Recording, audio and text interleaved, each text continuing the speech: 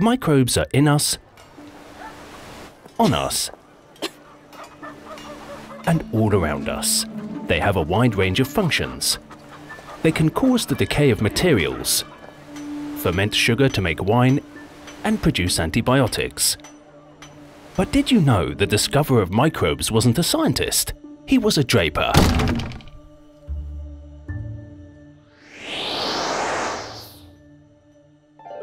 Drapers used magnifying glasses to inspect the quality of their fabrics. Antonie van Leeuwenhoek was a draper and merchant who, unhappy with those lenses, taught himself glassmaking. He created high-quality tiny glass spheres that could magnify objects up to 270 times.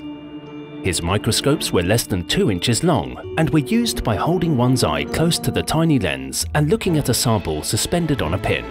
As a good merchant, he knew to keep his microscope secret, but that wouldn't be possible for long. Van Leeuwenhoek was a curious man, so he started analysing anything he could get his hands on. He sent his discoveries on mould, lice and bees to the Royal Society in London, who were familiar with similar work. However, his next discovery caused the scientists to question his credibility, as it was something completely unknown to them Van Leeuwenhoek had come upon an infinity of tiny animals in pond water, which he called animalcules. They are now known as microbes. This was the first ever sighting of single-celled organisms, so no wonder the Royal Society didn't trust him.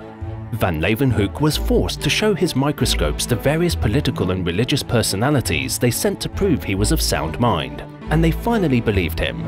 Van Leeuwenhoek never wrote a book, his discoveries were all communicated through hundreds of letters to the Royal Society.